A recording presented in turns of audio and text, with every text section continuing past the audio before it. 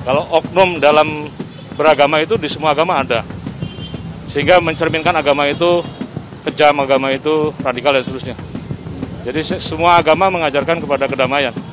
Kalau ada yang mengajar kekerasan itu, itu oknum-oknum dari umat beragama itu. Oh enggak dong, enggak dong. Aku sebagai banser kan Pak. Ya, saya kira pernyataan yang disampaikan Abu Janda kalau seperti itu, itu tidak mewakili NU ya. Saya nggak kenal sama Abu Janda, iya saya nggak kenal beliau. Tapi bahwa uh, Islam yang saya kenal, prinsip-prinsip Islam, uh, Islam yang saya kenal justru adalah prinsip yang mengasihi sesama, yang mengayomi sesama, melindungi minoritas, melindungi keberagaman. Ya dalam Islam itu perbedaan adalah rahmat. Ya, uh, lalu kemudian uh, yang memberikan keadilan.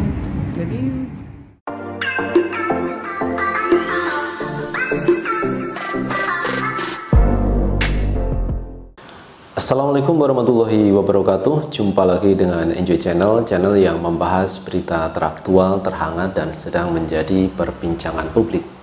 Teman-teman kali ini yang akan kita bahas masih mengenai Abu Janda Karena beberapa media online juga banyak membicarakan terkait Abu Janda yang dipanggil oleh pihak kepolisian. Kemarin teman-teman pada tanggal 1 Februari 2021 kemarin Abu Janda dipanggil Baris Krim terkait kasus pelaporan atas dirinya yaitu mengenai Islam arogan. Ini kemarin yang disampaikan lewat Twitter dari Abu Janda di mana Twitter itu sebenarnya berkaitan dengan uh, upload atau unggahan yang disampaikan oleh Ustadz Tengku Zulkarnain. Tetapi masalahnya Abu Janda ini memberikan pernyataan yang cukup menghebohkan bahwa di dalam tweet itu dinyatakan bahwa Islam arogan. Karena itu Abu Janda dilaporkan ke Baris Krim.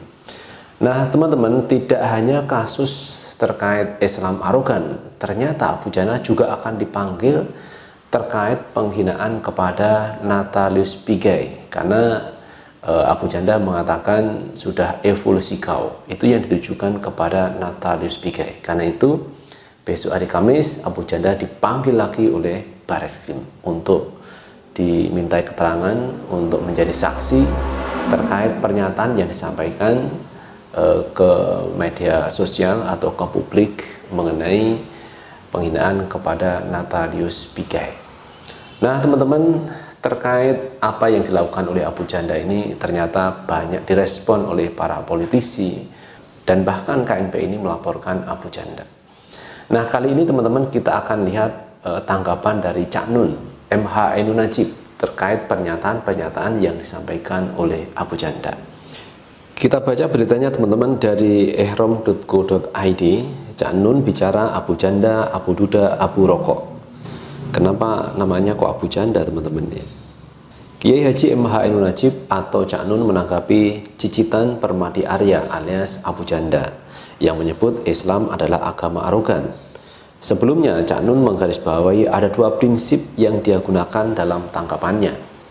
Cak Nun mengikuti apa yang Sayyidina Ali pernah katakan, yaitu tidak penting orang yang mengucapkan, tapi yang terpenting adalah perkataannya.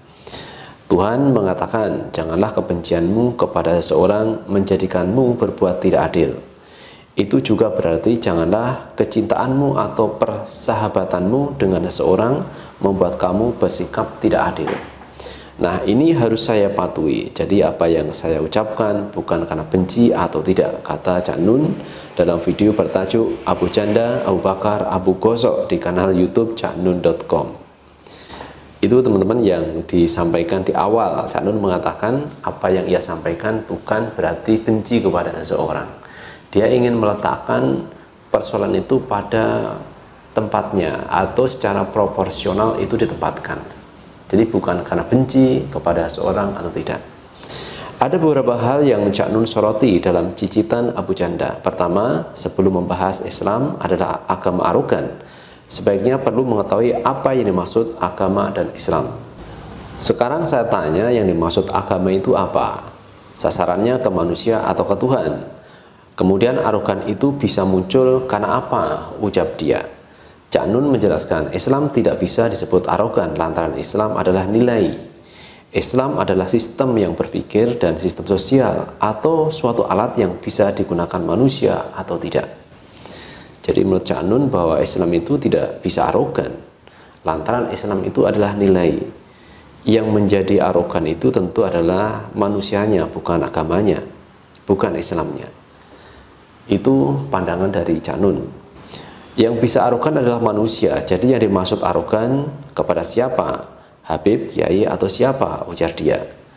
Cak Nun juga mengkritik penggunaan kata kearifan lokal yang disebut Abu Janda.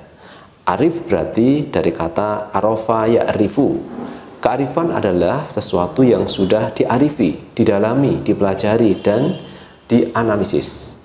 Sehingga disebut kearifan yang wilayahnya lokal. Kata lokal pun kata dia juga sebenarnya bersifat universal. Karena lokal lahir dari manusia, tidak dari suatu budaya. Menurut Janun, Abu Janda belum mempelajari secara luas kata-kata itu. Dia hanya menggunakannya berdasarkan pengalaman sekilas terhadap Al-Quran atau nilai yang dia dengar.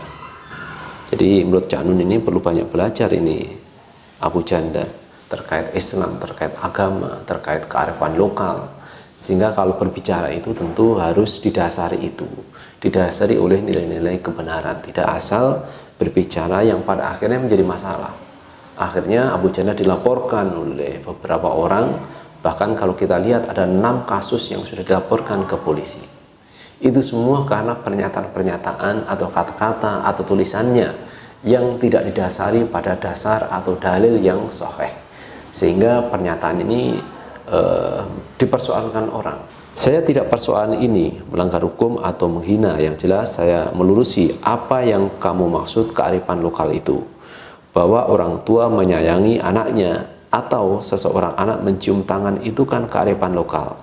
Jadi yang jadi apa yang disebut kearifan lokal menurut kamu? Ucap dia. Kemudian teman-teman Cak Nun mengatakan kalimat yang digunakan Abu Janda salah penggunaannya. Ada kemungkinan yang dimaksud adalah sesuatu yang spesifik sehingga berakibat menyakiti banyak orang. Jika sudah berurusan dengan menyakiti orang, Abu Janda harus menanggung akibatnya. Bisa berupa sekedar risiko sosial atau hukuman negara. Dari kejadian ini, Cak Nun menyarankan agar masyarakat terlebih dahulu berpikir sebelum berbicara. Sebab apa yang sudah diucapkan harus bisa dipertanggungjawabkan secara makna harfiah atau historis. Saya tidak mengecam siapa pun. Sekarang kita sedang dikepung COVID-19. Saya kira pelajaran nomor satu itu kewaspadaan atau dalam bahasa Arab disebut dengan takwa. Takwa itu hanya bisa dilakukan kalau Anda zikir. Jadi Anda ingat supaya waspada dan supaya waspada. Anda harus ingat, ini selalu berputar, kata dia. Nah itu teman-teman pendapat dari Cak Nun mengenai pernyataan yang disampaikan oleh Abu Janda. Beliau berbicara mengenai apa itu Islam, apa itu agama, apa itu kearifan lokal, apa itu budaya. Ini dibahas oleh Cak Nun. Pada intinya kalau saya melihat apa yang disampaikan Cak Nun adalah kita harus hati-hati berbicara. Kita harus hati-hati menulis. Jangan sampai tulisan atau perkataan kita itu menyakiti orang lain. Nah, kalau menyakiti orang lain tentu harus dipertanggungjawabkan dan pernyataan Abu Janda ini e, dianggap menyakiti orang sehingga Abu Janda dilaporkan ke Baris Krim Polri. Dan ini memang harus dipertanggungjawabkan oleh Abu Janda. Karena apa pun yang dikatakan apa pun yang disampaikan ke publik harus bisa dipertanggungjawabkan. Nah itu teman-teman pembahasan kita kali ini terkait e, tangkapan MH Ainun Najib atau Janun mengenai e, apa yang terjadi dengan Abu Janda karena Abu Janda ini adalah sosok yang fenomenal saat ini karena dibicarakan banyak orang karena ucapan ungkapannya dan kali ini Abu Janda harus berurusan dengan polisi karena apa yang disampaikan publik ini menyakiti beberapa orang atau banyak orang sehingga orang tidak terima akhirnya melaporkan ke Baris Krim. Nah, bagaimana pendapat teman-teman? Silahkan tulis di kolom komentar karena komentar teman-teman akan sangat bermanfaat untuk yang lain. Dan terakhir jangan lupa tetap like, subscribe, share, dan komen di channel ini agar kita bisa membangun channel ini menjadi lebih baik lagi. Sukses selalu.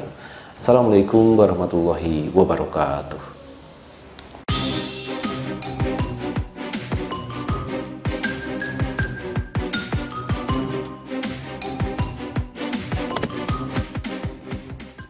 Jadi kalau ada orang mengatakan Abu Janda kok bukan Abu Perawan saja ya? Enggak di situ. Senangnya janda, anak bapak. Janda tuh naim ya. Itu tidak mewakili suara NU. Ya sudah itu pendapatnya sendiri. Tapi pakai banser ya, kambing bisa. Kambing kasih surban. Jadilah dia kambing bersurban ya kan? Apa hubungannya? Nggak, nggak ada itu. Nah, ya sudah itu urusan mereka. Kalau salah e, melanggar hukum undang-undang, ya biar diproses oleh yang berwajib.